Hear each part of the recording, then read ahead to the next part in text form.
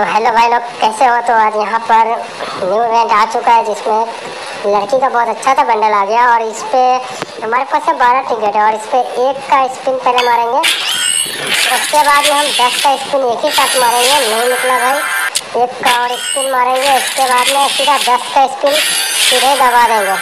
तो उसके बाद और ये रहा दस का स्पिन और देखते इस बार निकलता है कि नहीं? क्या निकलता है इस बार?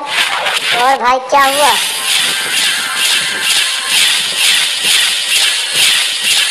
भाई, नहीं मिला यार। सस्ते में लूट लिया गरीना ने भाई। ये वीडियो कैसा लगा कमेंट करके बताना।